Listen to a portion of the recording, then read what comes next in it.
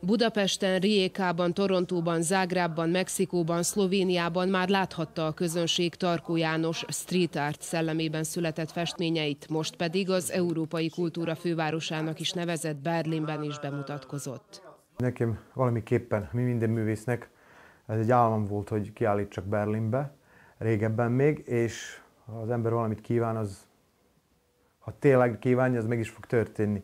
Nem sokan állítottak ki Berlinbe, és nem is tudtam, hogy ez így van, úgyhogy ők nagyon örültek, hogy valaki Szerbiából, Vajdaságból ottan kiállított és bemutatta a festményeit, és nagyon jó fogadták a műveimet is. Sokan el is jöttek a kiállításra, németek is, még ami nagyon érdekes volt, sokan újvidékiek is, akik ott élnek, a német főváros szívében levő GH36 galéria vezetői az interneten figyeltek fel János újabb alkotásaira és meghívták. A 17 festményből álló Mickey Mouse Dreams című kiállítás május 11-től 21-ig tartott Berlinben.